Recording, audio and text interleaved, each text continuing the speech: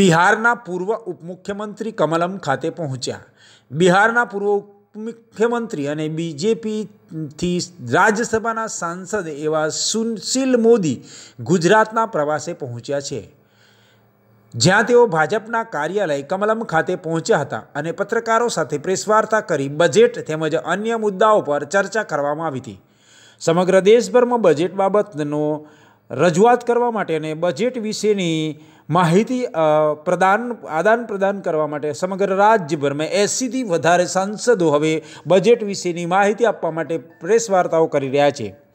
બજેટથી લોકોને શું ફાયદા થયા છે તે અંગેની જાગૃતતા ફેલાવવા માટેને બજેટથી લોકોને શું ફાયદો મળ્યો છે તેની માહિતી પૂરી પાડવા માટે સમગ્ર દેશભરમાં પ્રેસ વાર્તાઓનું આયોજન કરવામાં આવ્યું, જેમાં સાંસદ સભ્યો, ધારાસભ્યોથી લઈને ભારતીય જનતા પાર્ટીના અધ્યક્ષ સહિતના નેતાઓ હાલમાં બજેટ બાબતે ચર્ચા વિચારણા કરવા માટે પહોંચી રહ્યા છે. ત્યારે બિહારના પૂર્વ ઉપમુખ્યમંત્રી અને ભારતીય જનતા પાર્ટીના રાજ્યસભાના સાંસદ સુશીલ મોદી પણ ગુજરાતના પ્રવાસે પહોંચ્યા હતા અને ગુજરાત આવીને તેઓ કાર્યાલય કમલમ ખાતે પહોંચીને બજેટ વિશેની ચર્ચાઓ તેમજ મુદ્દાઓ પર ચર્ચા કરવા માટે પ્રેસ વાર્તાનું તેમના દ્વારા આયોજન કરવામાં આવ્યું હતું. સાંભળો તેમણે શું કહ્યું. उस पर भी कस्टम ड्यूटी जो है 20 परसेंट से घटा, बढ़ाकर 25 परसेंट किया जा रहा है। ये चाइना से ज़्यादा आता है, ताकि घरेलू बाज़ार को उसका जो है लाभ मिल सके। और कल मुख्यमंत्री जी ने बताया होगा, जो गिफ्ट सिटी यहाँ पर है तो वहाँ पर व्यापार को प्रोत्साहित करने के लिए अनेक प्रकार की सुविधाएँ देने की और घोषणा की गई है।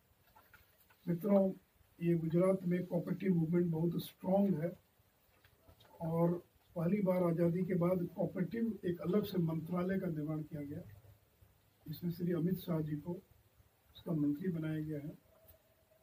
और कल के बजट में कोऑपरेटिव सेक्टर के लिए कई बड़ी घोषणाएँ की गई एक तो घोषणा ये की गई है कि जो प्राथमिक कोऑपरेटिव सोसाइटीज होती है प्राइमरी कोऑपरेटिव सोसाइटी उनके मेंबर्स दो लाख रुपया तक नगद जमा कर सकेंगे, या नगद विड्रॉ कर सकेंगे।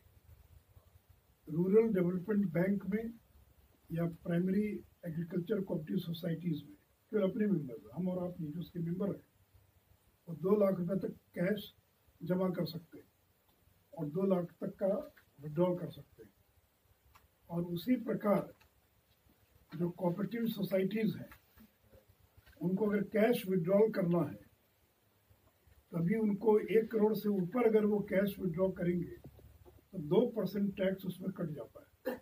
वो टीसीएस बोलते हैं। अब तीन करोड़ तक जो है, वो अगर कैश विड्रॉल करते हैं तो उनको किसी प्रकार का टीसीएस नहीं कटेगा। Tax at source tax collected at source TCS का मतलब टैक्स कलेक्टेड एट सोर्स अभी एक करोड़ तक लगता नहीं था टी टीसीएस एक करोड़ से ऊपर अगर आप विड्रॉ करेंगे तो कॉपरेटिव की दिक्कत क्या थी कि मेंबर को पैसा बांटने के लिए पैसा विड्रॉ किया दो करोड़। उनको दो परसेंट जो है टी टीसीएस कट जाता था। बाद में क्लेम कर सकते थे इनकम टैक्स में, लेकिन बड़ी दिक्कत होती थी। तब तो तीन करोड़ तक अगर कोई कॉपरेटिव सोसाइटी कैश विड्रॉ करती है तो उसको, उसका टीसीएस नहीं कटेगा। एक बड़ी राहत देने का हुआ है। एक नेशनल भारतीय जनता पार्टी ने बजट को पूरे देश के अंदर नीचे तक पहुँचाने के लिए एक नाइन मेंबर कमेटी का गठन किया है। जिसका मैं कन्वेनर हूँ और उस कमेटी ने के द्वारा आज और कल यानी चार और पाँच को देश के लगभग पचास सेंटर्स पर बजट के मुख्य मुद्दों को पहुँचाने के लिए केंद्रीय मंत्री और अन्य प्रमुख नेताओं का दौरा हो रहा है। आज सूरत में जयंत सिन्हा जी हैं, भारत सरकार में पूर्व वित्त राज्य मंत्री हैं। और मुंबई में आज निर्मला सीतारमन जी है। ऐसे सब लोग अलग अलग सेंटर्स पर प्रेस कॉन्फ्रेंस और फिर एक टाउन हॉल मीटिंग ये कर रहे हैं। जिसके माध्यम से बजट की मुख्य बातों को लोगों तक पहुंचाई जा सके। उसी क्रम में आज आपके बीच में आया हूँ। ये तो मीडिया में सारी बातें किसी न किसी रूप में आई हैं। लेकिन मैं दो बात का ज़िक्र करना चाहूँगा कि इस बजट के अंदर दो प्रमुख घोषणाएँ हैं, जिसके बहुत दूरगामी परिणाम हैं।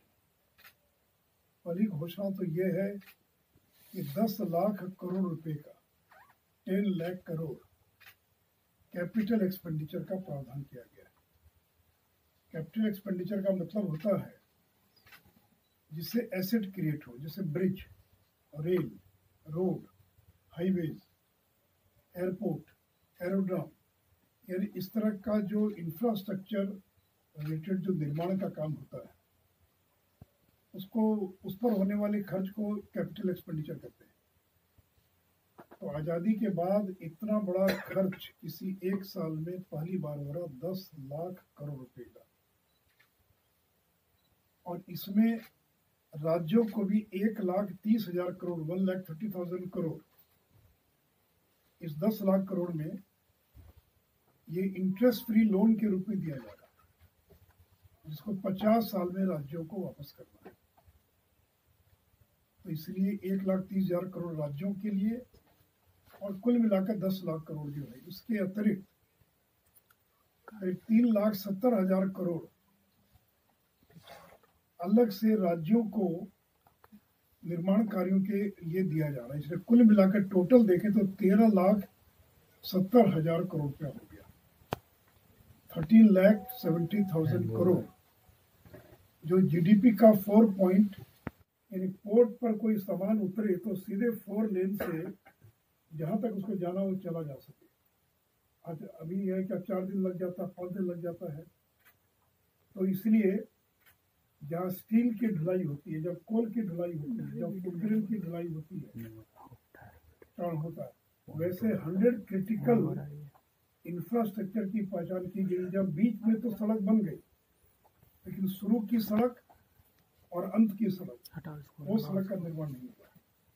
तो इस तरह के सौ क्रिटिकल कनेक्टिविटी के इंफ्रास्ट्रक्चर का चयन किया गया है और जिसमें लगभग सत्तर हज़ार करोड़ रुपया जो है और खर्च किया जाए तो यानी एक, और देखिए ये जो इंफ्रास्ट्रक्चर पर जो इतना खर्च करने का काम किया ये नहीं करें कि महँगाई नहीं है। लेकिन दुनिया की बाकी देशों की तुलना में आप देखेंगे तो महँगाई लगातार नीचे गिर रही है और हमने कंट्रोल किया उसको। दुनिया के 40 से ज़्यादा देशों में महँगाई के खिलाफ आंदोलन हो रहा है। लोग सड़कों पर आए। भारत में कहीं कोई सड़क पर आया नहीं। यानी इसलिए आप जिस बात का ज़िक्र कर रहे हैं, और ये तो हीरा जो है, ये सस्ता होने की बात नहीं हो रही है। ये तो हीरा बनाने की, हीरा तो आज भी बिक रहा है। इसको तो बाज़ार में आने में भी दो साल, तीन साल लगेगा। तो जो बोलने वाले लोग, उनको ना आटे का भाव आटे दाल का भाव मालूम है, और न हीरे का दाम उनको मालूम है। तो ये तो ऐसे नेता हैं कि बजट आने के पहले ही प्रतिक्रिया दे देते हैं। उनका हैंड आउट तैयार रहता है कि निराशाजनक बजट है, गरीब विरोधी बजट है, विकासहीनता को और बेरोजगारी को बढ़ाने वाला बजट है। तो बजट कुछ भी पढ़ने और देखने से मतलब नहीं है। उनका हैंड आउट हमारे बिहार में नेता थे बजट पेश हुआ पाँच बजे, दो बजे ही उनका अखबार को बयान रिलीज़ हो गया। तो लेकिन मैंने आपकी, आपके विषय को जवाब देने का प्रयास किया। है सर। डायमंड का सबसे बड़ा केंद्र सूरत है। और अभी जो डायमंड है, वो आता है साउथ अफ्रीका से, बाहर से। यहाँ उसकी कटिंग और पॉलिशिंग होती है। हमारे बिहार के लोग बड़ी संख्या में कटिंग पॉलिशिंग का काम करते हैं। अब धीरे धीरे हीरे जो है, वो खान में खत्म होते जा, कम होते जा रहे हैं। इसीलिए अब लैब के अंदर उसको उगाया जाएगा। जैसे पेड़ उगाते हैं वैसे प्रयोगशाला के अंदर लैब में हीरे को उगाया जाएगा। उगाना मतलब उसका, उसकी सरल भाषा में उगाना, यानी कोई मिट्टी में डाल कर उगाना नहीं है। Lab lab grown diamonds. और इसके लिए इसका जो बीज होता सीड होता है, यानी बनेगा तो वो कोई ना कोई छोटे डायमंड से बनेगा। छोटे डायमंड को कैसे डेवलप करेंगे, टेक्नोलॉजी तो मुझे नहीं मालूम है। इसका जो सीड है आज बाहर से मंगाने पर उस पर पाँच परसेंट कस्टम ड्यूटी है। उसको पहला काम तो ये किया कि इसको ज़ीरो कर दिया। यानी जो लैब ग्राउंड डायमंड्स है, जो उसकी जो सीड है, उसका जो बीज है, वो आयात करने पर कस्टम ड्यूटी जो है, उसको घटाकर पाँच से ज़ीरो कर दिया गया। और 242 करोड़ रुपया 242 करोड़ आईआईटी मैड्रास को दिया जा रहा है। इस पर रिसर्च करने के क्योंकि रिसर्च का बड़ा सेंटर आईआईटी मैड्रास तो 242 करोड़ उसको दिया जा रहा ताकि इस पर और रिसर्च करे, काम करे, ताकि आगे आने वाले दिशों, दिनों दिनों में हम लैब ग्राउंड डायमंड्स जो हैं, इसको हम हम प्रमोट कर सकें। ऐसे गुजरात में इमिटेशन ज्वेलरी जो है इसका काफ़ी बड़ा रोज़गार है यहाँ पर। क्या बोलते हैं इसको जो